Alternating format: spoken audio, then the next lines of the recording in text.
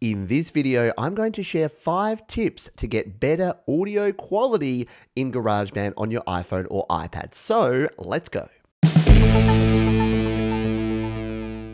Hi, my name is Pete, and welcome to Studio Live today, where my goal is to help you create, record, and release your best music. And I do that through tips and tricks and tutorials just like this one. So if that's your bag, consider subscribing. Now, if you're short on time, jump in the description. I've got links to the five different tips. Feel free to jump around. There's also some links down there to all of the products that I'm going to mention in this video.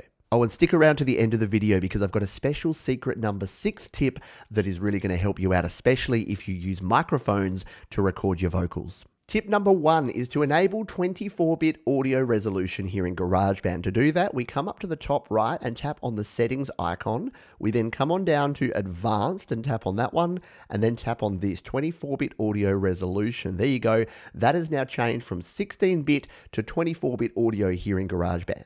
So what does enabling 24-bit audio actually do? Well, it gives you more bit depth, which means that if you've got especially quieter sounds, you're going to get more what we call dynamic range in your recordings, which means you'll be able to hear the detail of those quieter sounds. And 24 is just more and better than 16. So if you've got the ability to enable it, you might as well go ahead and do it. Now, 16 bit audio is actually still fine. In fact, it's what CD quality sound actually is, but 24 bit is better, especially if we're going to connect up some external devices to record in GarageBand, which is a good segue into our next tip which is to use an audio interface to record your audio. So this is the Behringer U-Phoria UM2. It's an entry-level audio interface, and this one is only 16-bit. The other audio interfaces that I recommend, like the Steinberg UR22C, the Focusrite Scarlett 2i2, are 24-bit interfaces. So that's the first thing to think about with an interface. But why should you use this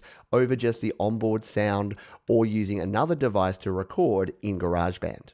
What an audio interface does is it takes your analog signals, your microphone or your guitar or your input, and it turns it into a digital signal that your iPhone or iPad or your Mac or PC can use. And it sends that out via USB as ones and zeros as a digital signal. So, why it's important to have a good quality audio interface is twofold.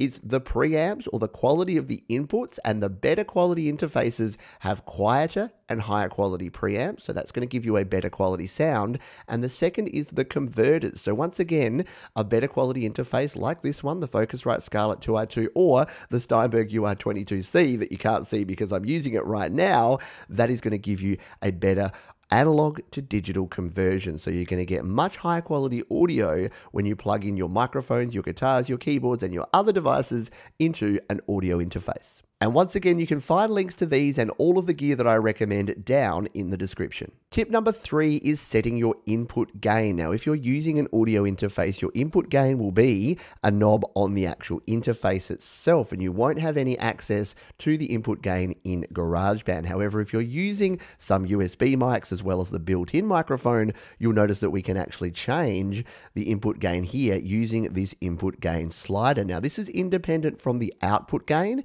This is simply the volume that you'll hear in your track. It's nothing to do with the actual recording, but the input gain is very important to set correctly, and that's what we're going to show you now. Now, to demonstrate this, we're going to use the inbuilt microphone here on my iPad Pro. Now, some iPhones, for some reason, won't allow you to adjust the input gain, so you'll simply need to adjust how far or close you are to the microphone to get the right levels, because the input level is the important thing we're talking about here. So if we tap on this slider, if we bring this input gain all the way down, you can see here it's barely registering my voice if we turn it too far up, you can see that we've started clipping our signal. Anytime you're getting these red and orange dots up the top here, that is clipping your signal. So you want to set your input gain so that when you're talking normally, it is hitting around about 50%, up to about 70%. That's a little too high. We dial it down. That's still a little too high. Dial it down. That's about where you want it to be. So you want it to be around halfway when you're talking normally, and when you're a bit louder, coming up to around about 70%.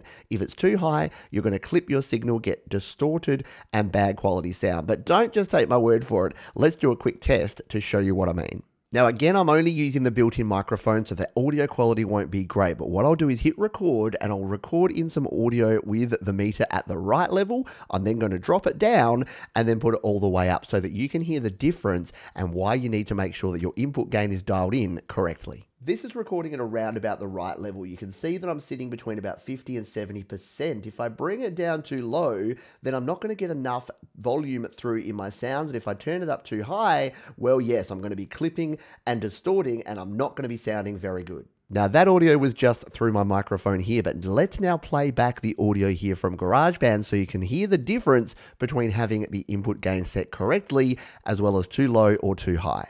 This is recording at around about the right level. You can see that I'm sitting between about 50 and 70%. If I bring it down too low, then I'm not going to get enough volume through in my sounds. And if I turn it up too high, well, yes, I'm going to be clipping and distorting and I'm not going to be sounding very good. Hopefully you can see and hear that getting your input gain dialed in correctly is super important for getting the best quality audio in your recordings. I want a quick additional mini tip here. If you are using the built-in mic and you're not happy with your audio quality, check out this plugin, Brusfri by Klevgrand, a great noise reduction plugin. There's a link down in the description where you can check it out. Tip number four for better quality audio is to use EQ. Now, EQ stands for equalizer or equalization. We've got an EQ built right in here to GarageBand that we can use to adjust our different frequencies. Now, remember, EQ is just a volume control for a different frequency. So if you've got too much bass in your song, you can just reduce the bass down like that. If you've got too much mid range, that middle sort of nasally sounds and those muddy sounds,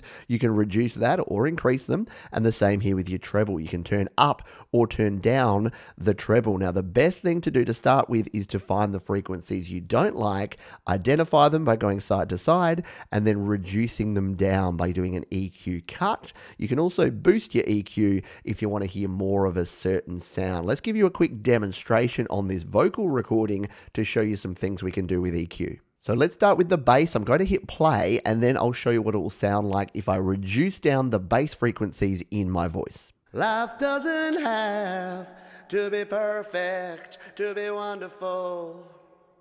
Life doesn't have to be perfect now, in this case, the bass frequencies are pretty good, so I would leave it as it is. But if you've got a bass guitar or a bass kick drum or something that is too bassy, you can turn it down. You want to enhance it, yeah, just give yourself a nice little curve like that. You can use that. Let's now look at the mid range. Now, this is something with vocals in particular that I tend to do because I've got a bit of a nasally voice, you might have noticed. So, what I tend to do is find a tone around about 2000 hertz where my nasalness comes through and see if we can, reduce it. So, let's hit play again. I'll dial it up, find the tone that I want to remove, and then reduce it.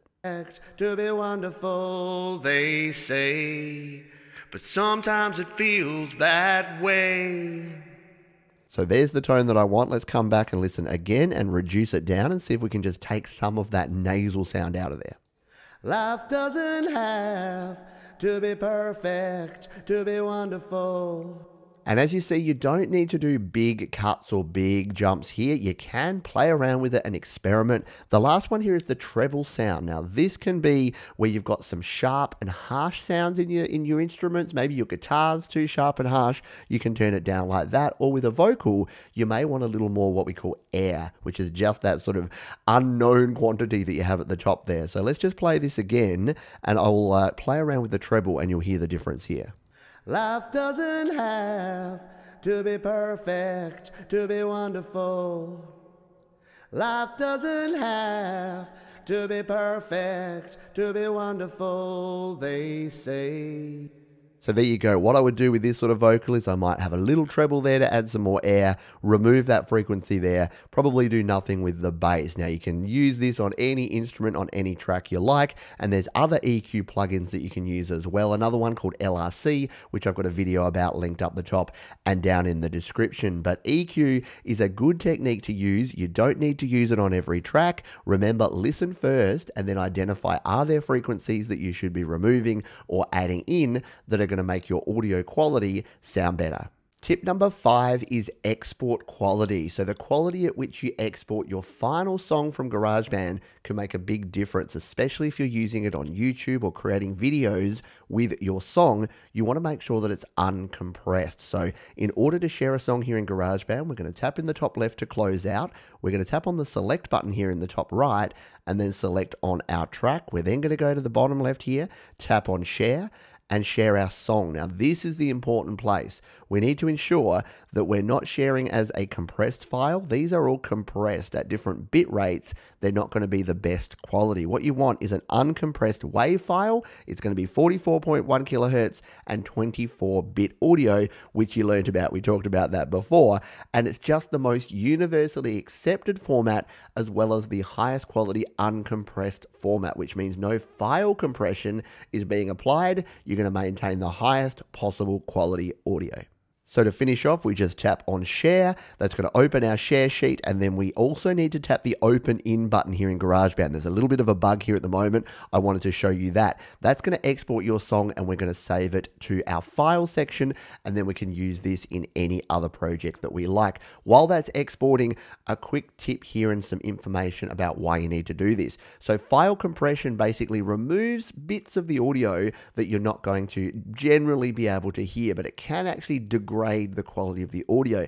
Now, the reason you don't want to compress here and now is that if you say put it into iMovie and then export as a compressed video, that is going to add compression. If you then upload it to YouTube or to Facebook, they will also add compression. So you want to keep your audio file uncompressed for as long as possible so that you get the best possible quality audio at the final stage. There you go. Our song is exported, perfect version for audio recording, and it's 62 megabytes. So your file sizes will be slightly bigger, especially if you've got 24 bit audio and a WAV file. Now, if you wanted to share this, we could, but we're going to save it to the files here by tapping on that.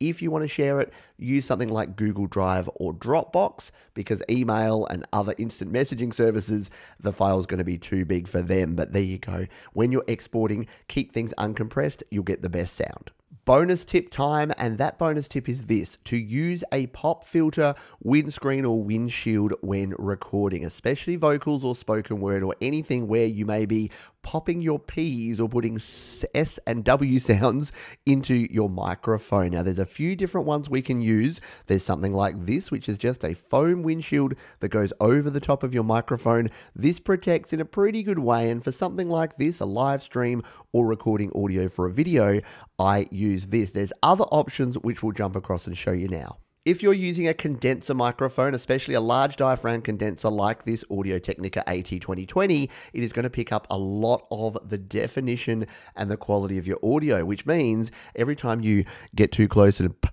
pop your peas, you might get a popping sound. Now, something like this, a pop filter is going to help you. It comes on this little arm, you attach it to your stand, you put it in front, and that does a couple of things. It makes sure you maintain your distance from the microphone so you're not getting too close, and it actually prevents that because the popping peas or the plosive sounds, as we call them, are caused by the wind coming from your mouth. So when you go puh, you can put your hand in front, you can feel that that wind is coming through. Another technique is to move your head slightly to the side. It's still going to pick up the audio, but you're not going to be popping in there. You can go to the side and it's not quite as poppy.